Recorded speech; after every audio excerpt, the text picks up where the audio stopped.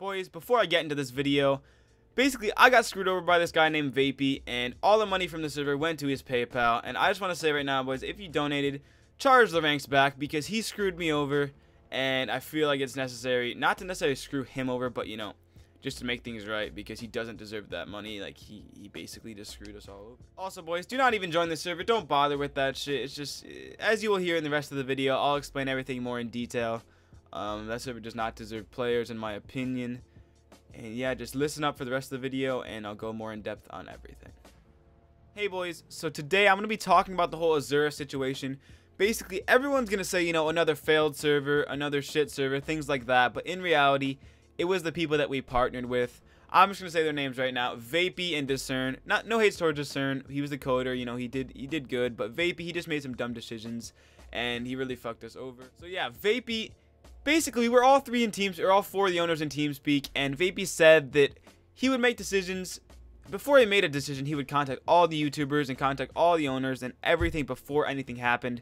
And within the next two days, we logged on the server and it was renamed to MC Crits and it was a whole different server basically. I mean, there was still HCF, but there was three other servers and like Kit PvP, things like that, all on the same network. And we were all just confused as hell. So we went TeamSpeak, tried to talk to him, and basically orbiting got him to say this, and basically this is proof that you know he said that yes, I I agreed to contact all the owners, but in reality he never did. So here's the clip right now. I just want to start this off by like didn't the other day, didn't all the owners agree that when they made a decision, they were going to make it as a group decision, correct? Like in sub, we never be Vapey? Yes, and Vapey never told any of the owners. Like in sub, did you agree? Were you there? Yeah, we had do you remember that? a while ago. I Vapey, yeah, you remember that, right? You told no one. Alright, so what happened when uh, the next day we woke up and you guys were merged and no one heard anything? Either way, you told nobody, bro. You told not me. You didn't tell DJ. And. Tell you that, And boys, if people say, you know, we took over the TeamSpeak because we did, that happened. But the reason for that is because there is no way to get in contact with AP. I messaged him on Twitter. I had Max message him. I had everything. Like we had to, we did everything. So basically, what we had to do is take over the team speak, and we didn't really take it over. We did not mess anything up. We just had to like take it over and get their fucking attention and move them into a channel and talk to them. That is all we fucking did. Okay, that is all I personally did. And that's the only thing that ever happened. And we explained that to him. We're like, bro, like this is the only way to get your attention. It's not like we're trying to be scumbags, bro. Like that's it. And yeah, and he thinks that you know we're scumbags for doing that. And I mean, I just don't get it. And also, you know, I put in work to the server. I streamed like probably five streams on it, four hour plus streams or so. And I really did put in work. I uploaded videos. I did everything. You know, I actually played on the server. You know, I had some fun.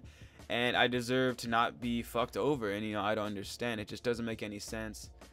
And also, boys, um, if you know, I was partnered with the server with a guy named Like and Subscribe. And basically, Like and Subscribe, he knows what's going on. He knew everything that happened. And he is now staying with the network, apparently. And he's still getting paid.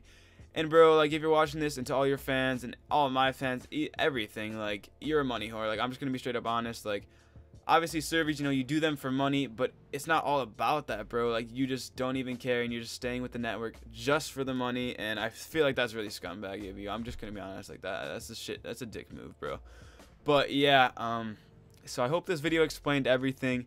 If you have questions or don't think I explained things thoroughly enough, comment down below. I will reply to you and I'm sorry for this shit to happen. I'm not going to be doing a server maybe not ever, but if I do do one, it'll definitely be in a few months or, you know, I don't know. Probably not for a long ass time. But yeah, I hope this explained everything and oh shit, but I hope this explained everything and I'll see you guys in the next one.